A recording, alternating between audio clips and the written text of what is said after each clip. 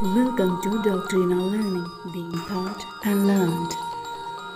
Hi ഒരു one നമ്മൾ ഇന്ന് മുതൽ യു ജി സി നെറ്റ് ഇംഗ്ലീഷിന്റെ സീരീസ് ഓഫ് ക്ലാസ്സസ് സ്റ്റാർട്ട് ചെയ്യാൻ ഓക്കെ നിലവിൽ ഓൺലൈനായിട്ട് പോലും ട്വന്റി സെവൻ തേർട്ടി തൗസൻഡ്സ് ഒക്കെ ഈടാക്കുന്ന അല്ലെങ്കിൽ fifty thousand minimum ten thousand എങ്കിലും ഈടാക്കുന്ന ആ, ഒരുപാട് ഇൻസ്റ്റിറ്റ്യൂട്ട് നമുക്കൊക്കെ അറിയാം അല്ലേ? അപ്പോൾ അത്രയും വലിയൊരു പേയ്മെന്റ് പെട്ടെന്ന് കൊടുക്കുക എന്ന് പറയുമ്പോൾ എല്ലാവർക്കും ബുദ്ധിമുട്ടും ഉണ്ടാവാം. സോ അതിന് ആ, സാമ്പത്തിക പ്രശ്നമുള്ളവർക്ക് വളരെ ഫ്രീ ആയിട്ട് ഞാനിവിടെ ക്ലാസ്സസ് മാക്സിമം എല്ലാ പോയിന്റ്സും ഉൾപ്പെടുത്തിക്കൊണ്ടുള്ള വളരെ സിംപ്ലിഫൈ ചെയ്തുകൊണ്ടുള്ള ക്ലാസ്സസ് ആണ് നമ്മളിവിടെ സ്റ്റാർട്ട് ചെയ്യാൻ പോകുന്നത്. ഓക്കെ സോ നമ്മൾ യു ജി സി നെറ്റ് എന്ന് കേൾക്കുമ്പോൾ തന്നെ ഭയങ്കര പേടിയാണ് അല്ലേ? സത്യം പറഞ്ഞാൽ ആ പേടി പോലെ തന്നെ ആ എക്സാമും അത്രയും ടഫാണ് ഇന്ത്യയിൽ തന്നെ ടീച്ചേഴ്സിന്റെ ഏറ്റവും വലിയ എന്താ പറയുക ടഫുള്ള ഒരു എക്സാം എന്ന് പറയുന്നത് നെറ്റ് എക്സാം തന്നെയാണ്. നിങ്ങൾ നെറ്റ് എക്സാമിന് വേണ്ടി പഠിക്കുകയാണെങ്കിൽ പിന്നെ ഒരു സെറ്റിനോ അല്ലെങ്കിൽ ടെറ്റിനോ വേണ്ടി പ്രത്യേകം പഠിക്കേണ്ട ആവശ്യമില്ല. ഓക്കെ നിങ്ങൾക്ക് നല്ല സ്കോർ തന്നെ സെറ്റിനും ടെറ്റിനും ഒക്കെ കിട്ടും.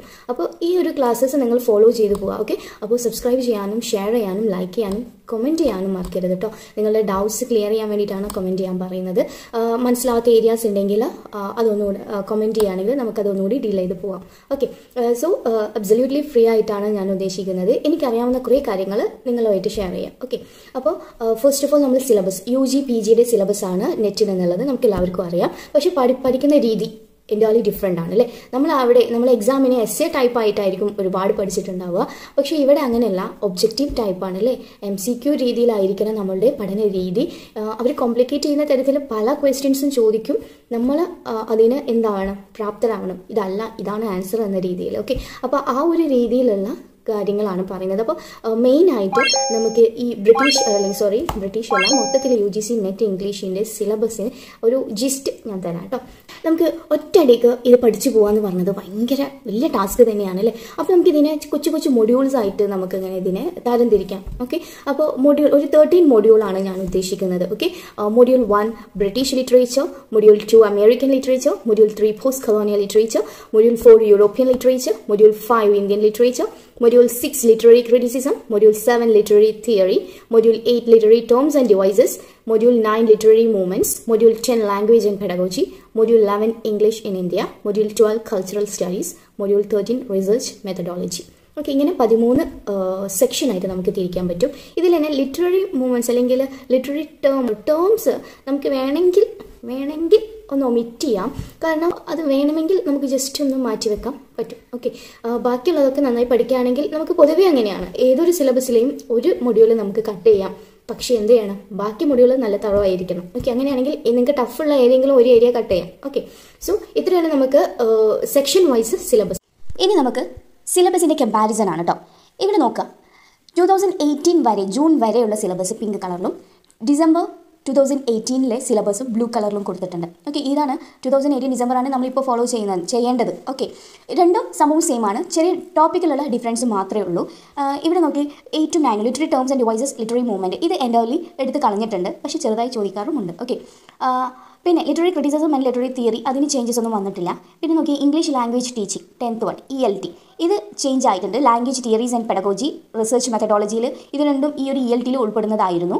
രണ്ട് ഹെഡിങ്ങിൽ നമ്മൾ വേർതിരിച്ചു എന്ന് മാത്രം. ഓക്കെ പിന്നെ drama poetry fiction short story and non fiction ഈ നാല് സെക്ഷനും ഇവിടെ നോക്കിയാൽ British literature American literature post colonial literature European literature Indian literature ഇതിൽ ഉൾപ്പെടുന്നതാണ് ഓക്കെ അപ്പോൾ ഫസ്റ്റ് ഓൾഡ് സിലബസിലെ ആദ്യത്തെ അഞ്ചെണ്ണം ന്യൂ സിലബസിലെ ആദ്യത്തെ നാലെണ്ണത്തിൽ ഉൾപ്പെടുന്നതാണ്. ഓക്കെ ഹെഡിങ്ങിൽ മാത്രമേ വ്യത്യാസമുള്ളൂ ഉള്ളിലെ കണ്ടന്റ് മുഴുവനും സെയിം ആണ്. അതുപോലെ തന്നെ ലിറ്റററി ക്രിറ്റിസിസത്തിലും ലിറ്റററി തിയറിയിലും ചേഞ്ചസ് വന്നിട്ടില്ല. Literary terms and devices literary മൂവ്മെന്റിലെ changes വന്നിട്ടുണ്ട്. അത് ഒമിറ്റ് ചെയ്തതാണ്. English language teaching language theories and pedagogy research മെത്തഡോളജിയായി മാറിയിട്ടുണ്ട്. ഇനി ഇതിലൊന്നും പെടാത്ത ഒന്നായിരുന്നു ഇംഗ്ലീഷ് ഇൻ ഇന്ത്യ ഡിഗ്രിയിലും ബി എഡിലൊക്കെ നമ്മൾ പഠിച്ച ഒരു ടോപ്പിക് ആയിരിക്കും ഇംഗ്ലീഷ് ഇൻ ഇന്ത്യ എന്താണ് ഇതിൽ വരുന്നത്? മാക്വല മിനിറ്റ് അതുപോലെ East India Company British Raj ഇതുകൊണ്ട് ഉദ്ദേശിക്കുന്നത് എന്താ? നമ്മുടെ ഇന്ത്യയിൽ ഇംഗ്ലീഷ് എന്റർ ചെയ്ത ആ ഒരു പീരീഡ് ഉണ്ടാവുമല്ലോ. അപ്പോൾ എന്തൊക്കെ സംഭവിച്ചു? എന്തൊക്കെ കാര്യങ്ങൾ ഉണ്ടായി? എന്നതിനെ കുറിച്ചുള്ള ഒരു ഔട്ട്ലുക്കാണ് ഈ ഒരു ടോപ്പിക്ക് തരുന്നത്. ഭയങ്കര കോംപ്ലിക്കേറ്റഡ് ആയിട്ടുള്ള ഒരു ടോപ്പിക് അല്ല ഇത്. ഓക്കെ അത്രയേ ഉള്ളൂ നമ്മുടെ ഈ ഒരു സിലബസുമായി ബന്ധപ്പെട്ട് പറയാൻ. ഇനി ഈ ബ്രിട്ടീഷ് ലിറ്ററേച്ചർ തന്നെ ലോങ് ആണ് കേട്ടോ അപ്പോൾ ആ ലോങ് ആയിട്ടുള്ള കാര്യം നമ്മൾ ഓരോ ക്ലാസ്സസ് തുടങ്ങുമ്പോൾ നമുക്ക് എക്സ്പ്ലെയിൻ ചെയ്തു പോവാം.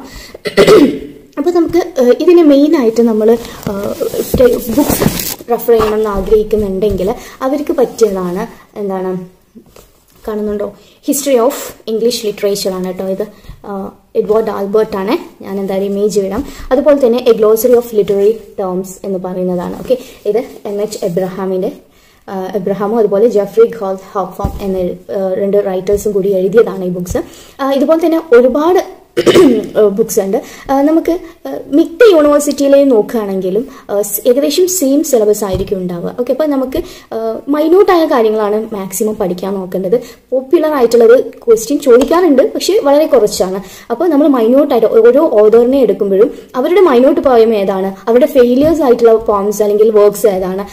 അതിന്റെ റീസൺ എന്താണ്? അങ്ങനെയുള്ള കാര്യങ്ങൾ അതുപോലെ ക്യാരക്ടേഴ്സ് ഓരോ ഒരാൾ തന്നെ ഒരു പതിനായിരം ഒക്കെ എഴുതിയിട്ടുണ്ടാവും അല്ലേ? പതിനായിരം ക്യാരക്ടേഴ്സ് ഒരാൾക്ക് തന്നെ ഉണ്ടാവും. അപ്പോൾ ആ ഓരോ ക്യാരക്ടേഴ്സും ഏതിൽ പെട്ടതാണ്? അയാളുടെ പ്രത്യേകത എന്താണ്? ഇതൊക്കെ നമ്മൾ മനസ്സിലാക്കി മനസ്സിലാക്കി വേണം പോകാനായിട്ട് അപ്പോൾ ആ ഒരു രീതിയിൽ നമുക്ക് ക്ലാസ് അറേഞ്ച് ചെയ്യാം. ഇനി നിങ്ങൾക്ക് ഞാനിവിടെ കുറച്ച് ബുക്സിന്റെ ഡീറ്റെയിൽസ് തരാം. നിങ്ങൾക്ക് ബുക്സ് റെഫർ ചെയ്ത് പഠിക്കണം എന്ന് ആഗ്രഹമുള്ളവരാണെങ്കിൽ കുറച്ച് ബുക്സ് ഓരോന്നിനും ഓരോ ബുക്സാണ് ഓഫ് കോഴ്സ് നമുക്ക് എന്താ പറയുക ഉറപ്പാണ് എന്താണ് പെട്ടെന്ന് ഒരു പത്ത് പതിനഞ്ച് ഇത്ര ഇത്രയും കട്ടി ഉണ്ടാവുമല്ലോ അല്ലേ? ഇത്രയും കട്ടിയുള്ള ഒരു ഒരു പത്ത് ബുക്സൊക്കെ വായിച്ച് പഠിച്ച് പോകുമ്പോഴേക്കും ഒരു ബുക്സ് ഒരു ബുക്ക് കഴിഞ്ഞ് അടുത്ത ബുക്കിലോട്ട് വരുമ്പോഴേക്കും ആദ്യം പഠിച്ചതൊക്കെ ക്ലിയറായി പോയിട്ടുണ്ടാവും. അപ്പോൾ അതിനൊക്കെ ഓവർകം ചെയ്യുന്ന തരത്തിൽ നമ്മുടെ മൈൻഡിൽ കയറുന്ന തരത്തിൽ വളരെ സിംപ്ലിഫൈ ചെയ്തുകൊണ്ടാണ് ഞാൻ ക്ലാസ് അറേഞ്ച് ചെയ്യുന്നത്. അതുപോലെ തന്നെ നിങ്ങൾ നോട്ട് ചെയ്യേണ്ട ഒരു ഒരു കാര്യം എന്ന് വെച്ചാൽ ഇതിനായിട്ടൊരു ബുക്കും പെന്നും കരുതുക എന്നതാണ്. ഓക്കെ നിങ്ങളുടെ ഇഷ്ടമുള്ള ടൈം ആവാം. അതൊക്കെ നിങ്ങളുടെ ഇഷ്ടമാണ്. അപ്പോൾ ബുക്ക് എപ്പോഴും എന്തിനാന്ന് വെച്ചാൽ നോട്ട്സും പോയിന്റ് ഒക്കെ നിങ്ങൾ അപ്പപ്പോൾ എഴുതി വെക്കുകയാണെങ്കിൽ ഏത് നേരത്തും നിങ്ങൾക്ക് ജസ്റ്റ് ആ ഒരു ഏരിയ നോക്കിയാലും നമുക്ക് ചിലപ്പോൾ ആ ഒരു വേർഡ് കിട്ടിക്കഴിഞ്ഞാൽ നമുക്ക് എല്ലാം ആ ഒരു വീഡിയോയിൽ അല്ലെങ്കിൽ ആ ഒരു സെക്ഷനിൽ പറയുന്ന കാര്യങ്ങളൊക്കെ ഓർത്തെടുക്കാൻ പറ്റുമായിരിക്കും. പക്ഷെ ആ ഒരു വേർഡ് വിട്ടുപോകും. അപ്പോൾ നമ്മൾ വീഡിയോ ചിലപ്പോൾ കേൾക്കുമ്പോൾ നമുക്ക് തോന്നും ആ അത് വളരെ സിമ്പിളായ ഒരു ടോപ്പിക്കാണ് ഇത് ഓർത്ത് വെക്കാൻ വളരെ എളുപ്പമാണ്. എനിക്ക് ഓർമ്മ ഉണ്ടാവുന്നു പല തവണ നമ്മൾ ചിന്തിക്കും. പക്ഷേ ആ, ഓർമ്മ ഉണ്ടാവില്ല. ഒരു പത്ത് പതിനഞ്ച് ക്ലാസ് കഴിയുമ്പോഴേക്കും നമുക്ക് ഫസ്റ്റ് കേട്ടത് നമുക്ക് എപ്പോഴും നമ്മൾ എന്ത് പഠിച്ചാലും ഫിഫ്റ്റി പെർസെന്റേജ് നമ്മുടെ ബ്രെയിന് ഓർത്ത് വെക്കുള്ളൂ ഓക്കെ പിന്നെ അങ്ങനെയുള്ള തറവായിട്ടുള്ള പഠിത്തമൊക്കെ പഠിക്കണം. ഓഫ് കോഴ്സ് നമ്മളാരും അങ്ങനെ അത്ര അങ്ങ് പഠിക്കുമെന്ന് എനിക്ക് തോന്നുന്നില്ല. പഠിക്കുന്നവരുണ്ടാവാം കേട്ടോ. അപ്പോൾ അല്ലാത്ത ആളുകൾ നമ്മൾ എപ്പോഴും എന്ത് ചെയ്യണം? നോട്ട് ചെയ്ത് വെക്കുക. അപ്പോൾ ഒരു വീഡിയോ ആണ് നിങ്ങൾ ഫോളോ ചെയ്ത് പോകണമെങ്കിൽ പെട്ടെന്ന് ഈ വീഡിയോയിൽ ഏത് വീഡിയോ ആണെന്ന് നിങ്ങൾ മറന്നു പോകും. പിന്നെ എല്ലാ വീഡിയോ ഇട്ട് നോക്കണം അല്ലേ? അപ്പോൾ അതൊക്കെ ബുദ്ധിമുട്ടാണ്.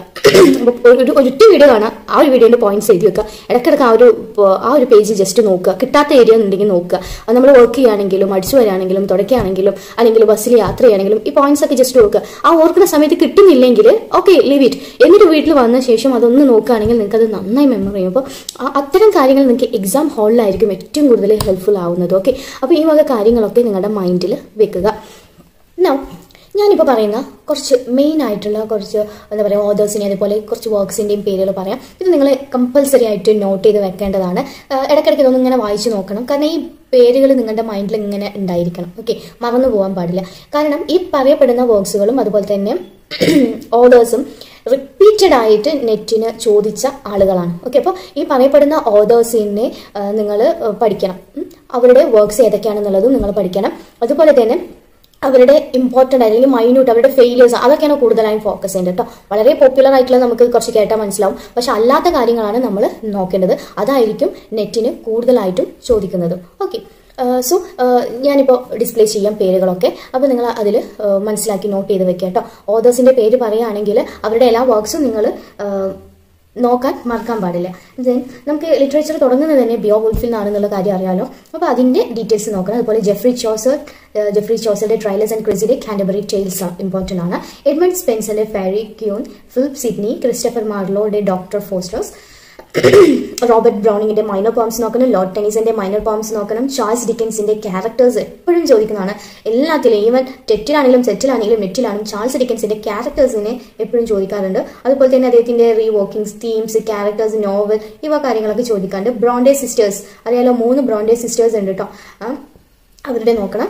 ഇതിൽ ഇമ്പോർട്ടന്റ് എന്ന് പറഞ്ഞാൽ ജെയിൻ അയ്യോ Wuthering Heights okay Oscar Wilde അതുപോലെ തന്നെ വില്യം വോച്ച്വർട്ട് റൊമാന്റിക് പോം നോക്കുമ്പോൾ തന്നെ നമുക്കറിയാം William Wordsworth Samuel Taylor Coleridge P B Shelley Lord Byron John Keats Jane Austen Mary Shelley അതുപോലെ തന്നെ നമ്മൾ മെറ്റാഫിസിക്കൽ പോയിന്റ്സ് ഒക്കെ കേട്ടിട്ടുണ്ടല്ലോ. അതുപോലെ തന്നെ കവലിയർ പോയിന്റ്സ് റാഫ്ലൈറ്റ്സ് അങ്ങനെ ഒരുപാട് യൂണിവേഴ്സിറ്റി വീസ് ഇങ്ങനെയൊക്കെ പറഞ്ഞ് കുറേ ആളുകളെ തരംതിരിച്ചിട്ടുണ്ടല്ലേ? അവരൊക്കെ തരംതിരിക്കുന്ന രീതിയിൽ അല്ലെങ്കിൽ സ്ട്രീം ഓഫ് കോൺഷ്യസ് അങ്ങനെ പറയുമ്പോൾ അതിൽ പെടുന്ന റൈറ്റേഴ്സ് ആരൊക്കെയാണ് എന്നത് പ്രത്യേകം പ്രത്യേകം വ്യക്തമാക്കി എഴുതണം. ഓക്കെ അപ്പോൾ മെറ്റാഫിസിക് പോയിന്റ്സ് നോക്കുമ്പോൾ ക്രിറ്റിസിസം അതിൽ ഒരുപാട് ക്രിറ്റിസിസം ഉണ്ട്. അത് നോക്കണം. ഫേമസ് കൺസീറ്റ് ഏതാണ്? പോയിറ്റ്സ് പോം ആൻഡ്രൂ മാർവലിന്റെ ടു ഹിസ് കോയ് മിസ്ട്രസ് വളരെ ഇമ്പോർട്ടന്റ് ആണ്.